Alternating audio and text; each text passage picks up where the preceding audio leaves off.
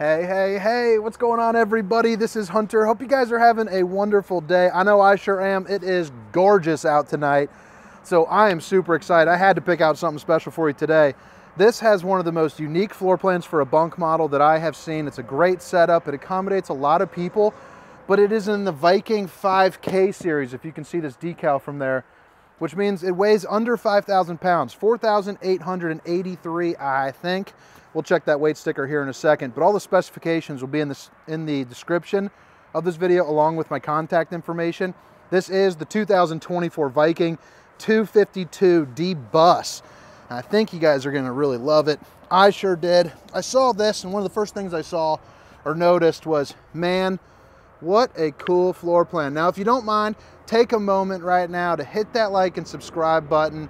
You know, join my little growing community here of campers that would just be superb. But, oh man, I'm in a goofy mood today, I'll tell you. It's been awesome. A lot of things to celebrate. The new job is finally starting to really pick up and I uh, could not be more excited that. We just sold our fifth unit for the month. It's halfway through the month. I know it doesn't seem like much, but considering we only had five units on the ground a couple weeks ago, that is so excited, so exciting. But again, 2024 Viking 252 D bus or as the kids would say, debussing, because this floor plan slaps. This thing is awesome. Right when you walk in here, you're to see you have this really nice kind of sit around open space with a couch, a bed that drops down for the Murphy style, so that's really nice. So you can still get a queen size bed, but during the downtime, it really utilizes that space with having that versatility right there. So I really like having that because this is a bunk model and you are going to be sleeping a couple extra folks. Really nice flooring pattern on that with the linoleum. It's going to be a one piece. You got those grays mixed in with a little bit of brown, looking pretty darn sharp there. You're also going to have a little bit of storage there as well. Windows on this are going to be tinted. So for a price point unit, that's awesome to still see some pretty nice features like the tinted windows, help mitigate some of that heat. Also a couple outlets right here, and then the USB and the universal C charger to charge up your devices.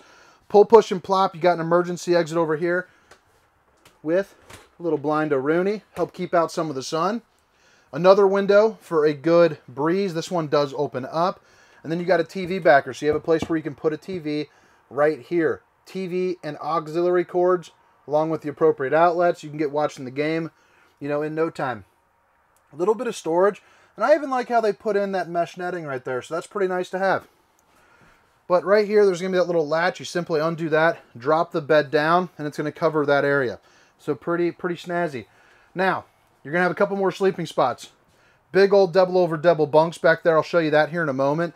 But this is going to be another couch. So again, more daytime or rainy day uh, sitting space that converts to sleeping. So this is going to be on a jackknife. You just lift up right here and then drop down. An additional sleeping space, probably for someone a little bit smaller or maybe a little bit shorter. You also get a couple cup holders. Got a little table right behind there. It's one of the foldable kinds, transportable. Put it in front of here or bring it outside, you know, for some tailgating or something like that. Little shelf, just some added space. Put some trinkets up there, you're good to go. Another window. Kind of a little pantry space right here. Nothing too crazy huge, but I'll tell you what, it is nice. You're definitely going to use it.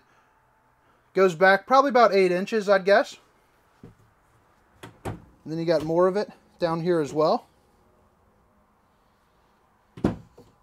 And then right across from your seating, you're going to have, you know, your cooking area. So you got plenty of countertop space because they went ahead and put on these tops. Without that, it would definitely be pretty limited.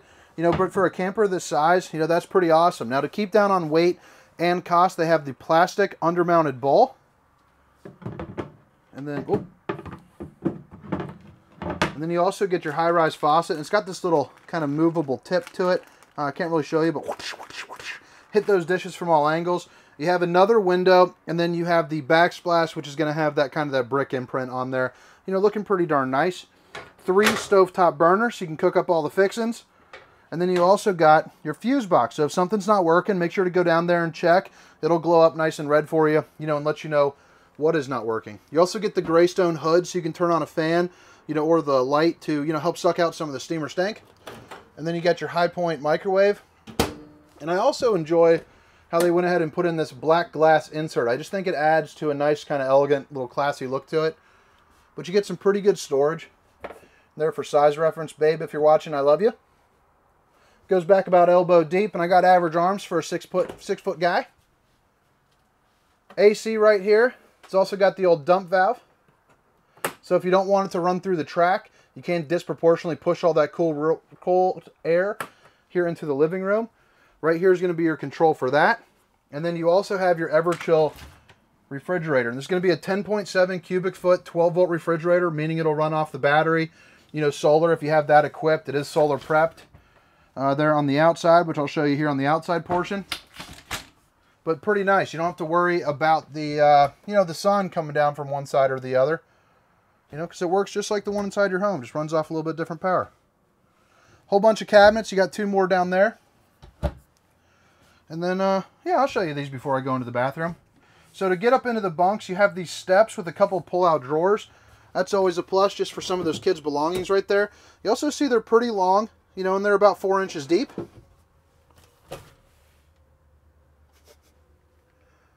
Uh, I'm cracking up. I'll tell you, my kids have been wanting me to use bussin in the video, and I saw this this model that is the D bussin. I just had to do it. So I don't know. I'm about to get roasted when I get home, but you know, with the kids, you got to use the slang. So right here, you got your another emergency exit. So pull, push, and pop. You're good to go. But I love seeing these bunks. So you're going to have a light, USB, and universal C. You're also going to get a window on both sides. So that way you don't have to hear any arguing at night. Everyone's taken care of. Everyone's got light. Everyone's got a view. And everyone has power. But they're also double wide bunk beds, you know, for even some of the bigger kids or possibly even, you know, that fun uncle that had a couple too many brewskis. 300 pound weight capacity. So that is nice. Plenty of size right there. I believe it's about six foot tall. I hopped in it and I was perfectly fine. You know, and I'm, uh, I'm six foot, 300 pounds. So I'd, yeah, put on the one on the bottom one. Right there, you got a mirror. Check out the old bowling gun. That bad boy's good for a 200 average right there. Plastic foot flush throne with just enough room to sit down and do your thing. You also got just a little bit of shelving and a little bit of countertop space, enough room to put on, you know, maybe a soap or, uh, you know, toothbrush, something like that. Plastic bowl here, access to your plumbing along with, you know, just a little bit of storage. Pretty clean cut down there too, which I enjoy. And you got a little fan right there just to kind of help get things in and out. And then you got a shower with a skylight. The shower's not too big, but it's just big enough, you know, for a camper. You're going to be uh, kind of weekend warrior in something this size, and that's just going to go, you know, just fine for you. If you guys have made it this far, if you don't mind hitting that like and subscribe button. And before I head around the outside, I'm going to drop this, uh, this Murphy. So what you do is you just grab both of these cushions.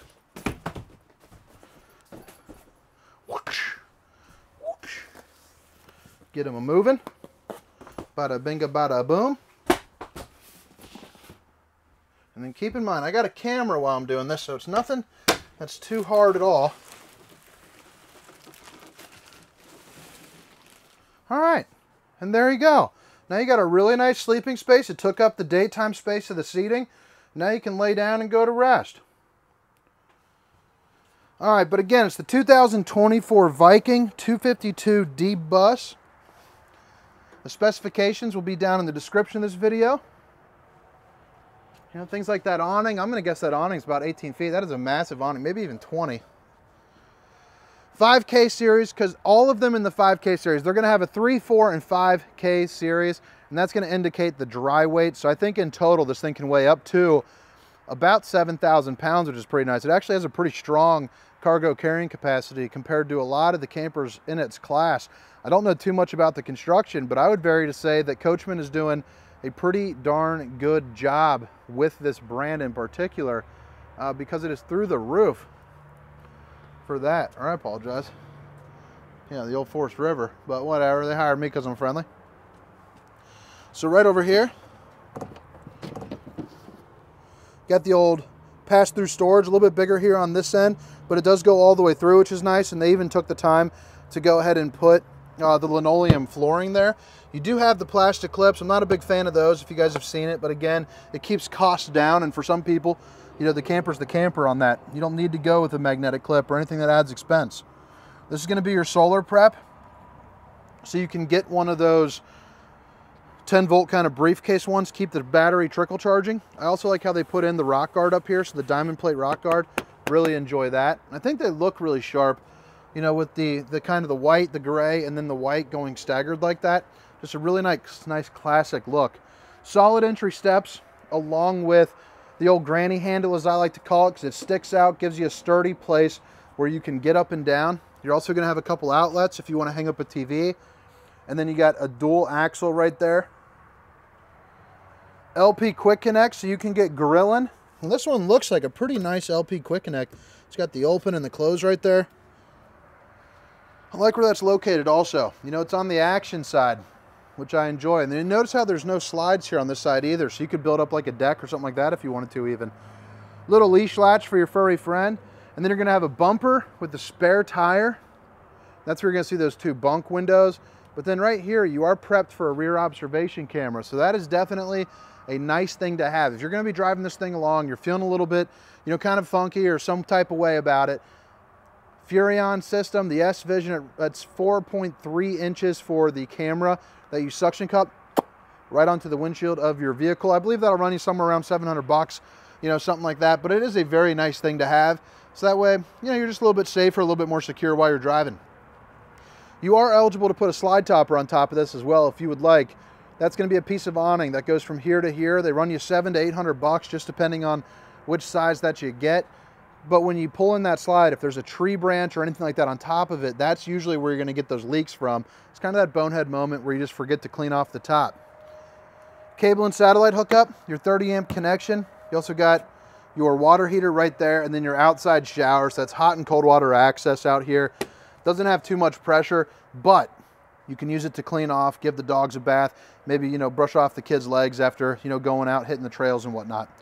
Waste holding tank, sewer connection, and your low point drain are all going to be located right there. So really nice and centrally located. Love seeing it.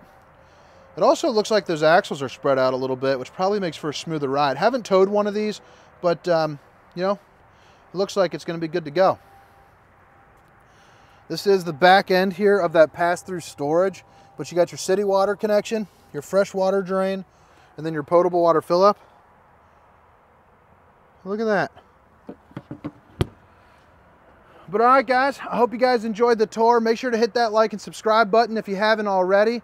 This was the 2024 Viking 252 D-Bus. My name is Hunter. See ya.